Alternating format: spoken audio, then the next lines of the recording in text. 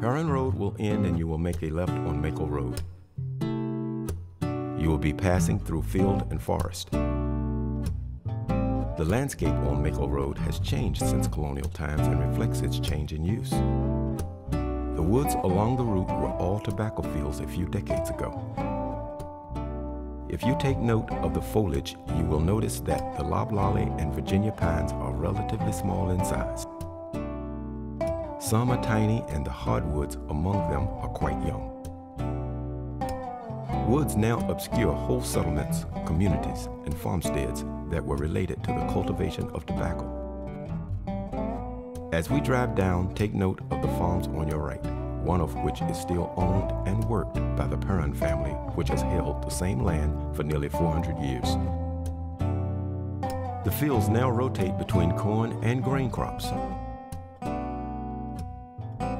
the Turner family owned the farm on the left-hand side of the road during the 19th century. If you look past the fields on your right, you can see the Patuxent River.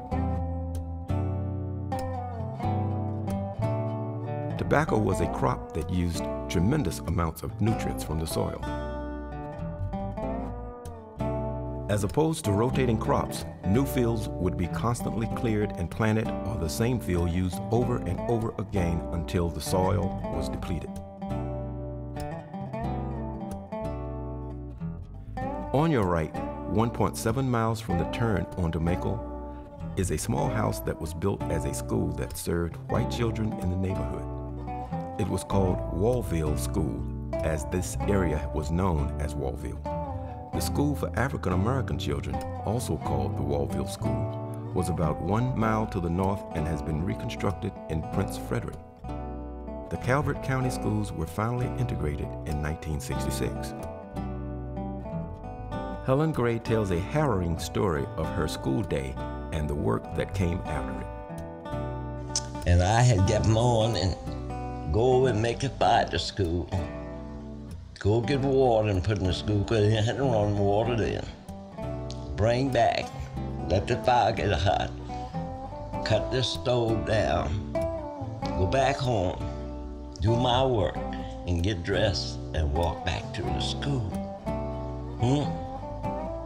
People blessed now. We had miles to walk to school, get wet, wind blowing, you get in the school, it was so cold in there some, some days till the teacher get her bell, said, let's go to the pond and skate to keep warm. Huh? It was so cold we couldn't write, and the school was just like you had took the windows. The wind come through that snow blowing, rain. You stand up around the stove, you ain't know the fire was in there. Huh? Now people is blessed. Then after I get through, we get through like going to the Tobacco Bay, he came at 12 o'clock at night. You know where? When the clock, it's a Sunday night, when that clock hit 12 o'clock, he called you. Let's go. Take our light, get to the back of Bay and sit on so we could have light, you know, to see how to draw the plants.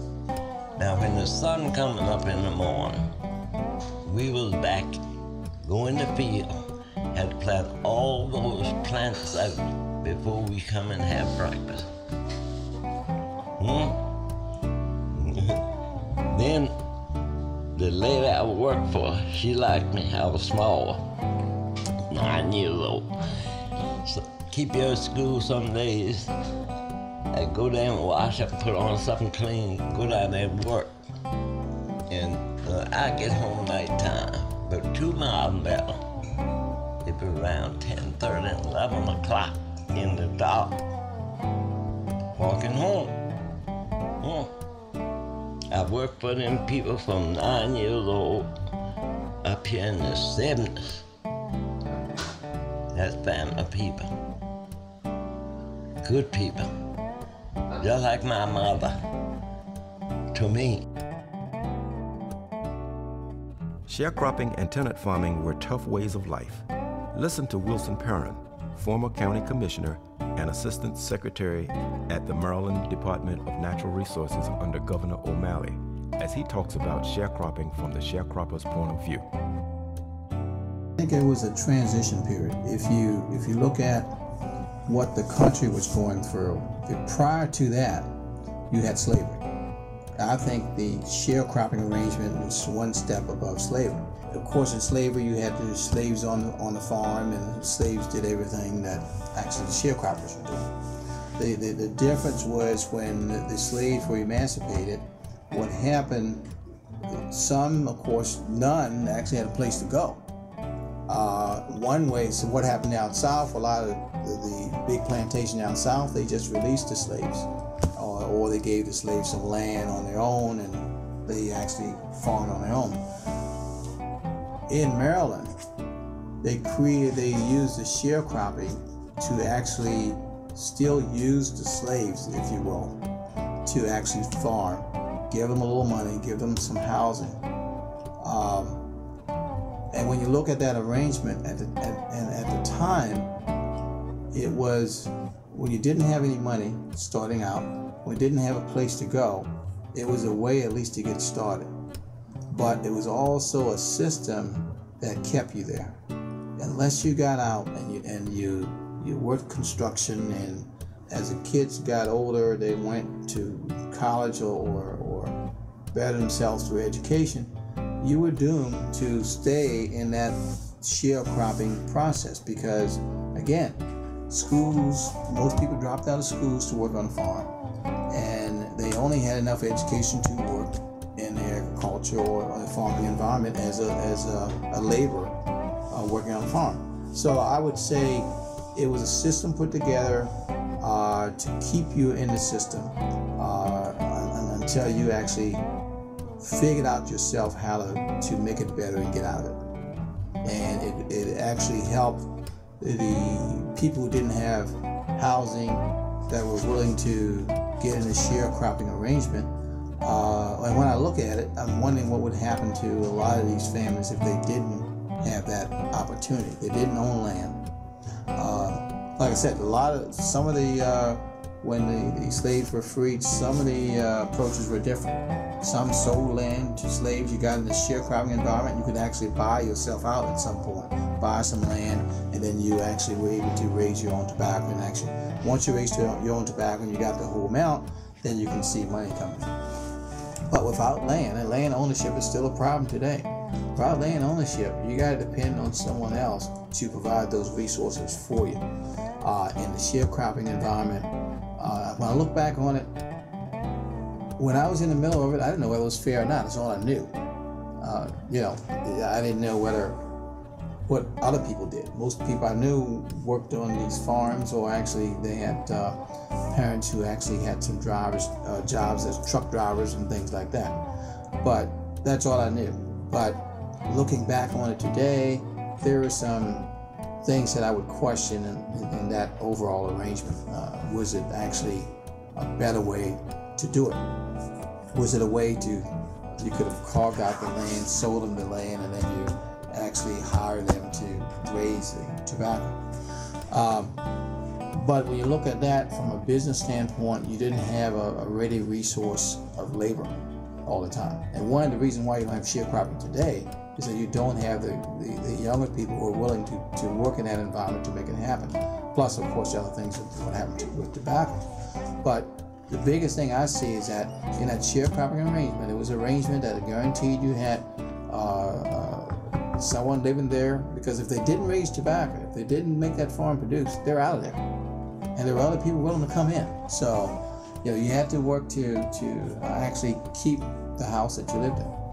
The, the, there wasn't much interaction between the owner of the farm and the, the, uh, the sharecropper.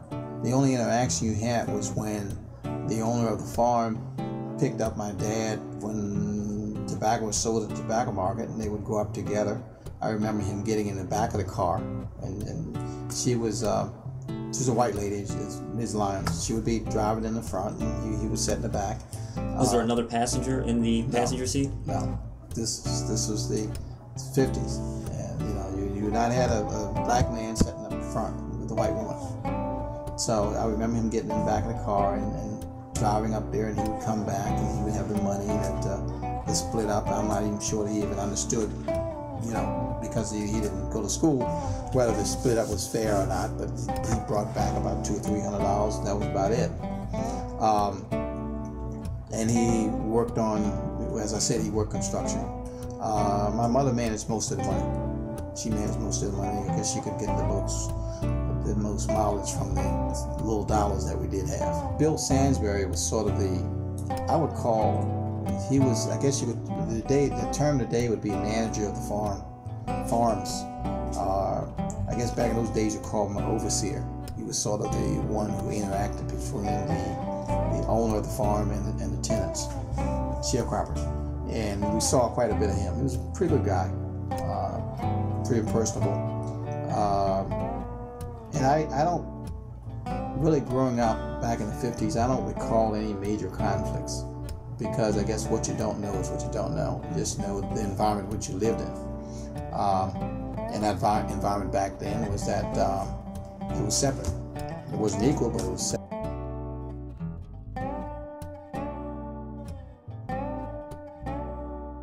Daniel Brown, a former tenant farmer, reflects on his pre teenage youth. I was born October 3rd, 1916. And this is my home here in Calvert County. I was born right here in Calvert County. My uncle was the only blacksmith within this county. And he had a farm. And he sold half of my farm to my father. And the people around cut the timber out of the woods and carried it to the mill, got the lumber, and built a house to sell for my father and his friend. It was 1928. And that winter he died. After my father passed, they come there and say their property had oxen sale and sold it. You know, back a long time ago, black really wasn't supposed to they would allowed live close to the road. Dirt road at one time, they had to build back. Anyway, they said it was their property. Didn't owe nobody nothing on it.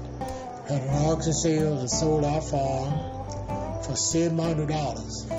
The man that bought my bought uh, our place, his name Mr. Soper, and I had to work for Mr. Soper for three dollars a month, and ordered the rest of my sisters and brothers to stay in this house, which belongs to us, because they'd take it from us. He, he didn't pay me. I didn't get paid. I supposed to get three dollars a month. Only thing that I he gave me, Milky Way and Babe Ruth candy come out and Uh, 39. I got a bar, uh, Babe Ruth Candy. And he had this old big house over there. I, I had to sleep in the shed. But in the winter time, I slept in a cot in the kitchen. I had good food to eat. Eat the same food that they had. But money, I didn't, I didn't get any money. Then when I got, I wouldn't let me go to school the children, I can remember the children walking around there to go walk over to people in school, and they would say, come on, Dad, go to school. And he would say, oh, what are you going to school for? You ain't going to be nothing. Helen Gray talks about what she calls renting. We were renting back in those years. Just like you say you rent an apartment or whatever, we were renting. And we could farm on the land where we was renting, see we worked on the farm, half and half in them years. If we raised tobacco on the main land, he get half and we get half. See, that's really what years back. Yeah, be surprised. Come a long ways, honey, long ways.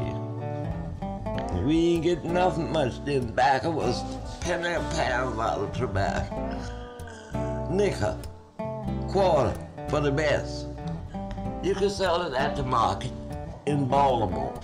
You just have pack it down in hogsheads, back it in, and ship it to Baltimore. They had trucks hauled it to Baltimore, else on a steamboat. Go back home. Oh well, anybody could rent people farm then. They need somebody to have work. Mm-hmm. Yeah, that's all was to do. And they had houses on it for the tenants, you know, to live in. And the sheer crop. Had people cash money for rent. Sheer crop. Yeah. Yeah, that's all people could do to make a living was farm. Farm, that's all. And I mean, the place was growed up, you had to take holes and dig the bush and things before you could plant crops out. I done did some cutting and grubbing and a little bit of everything in my days. Folks like Helen Gray and Daniel Brown persevered as best they could and found joy in their lives.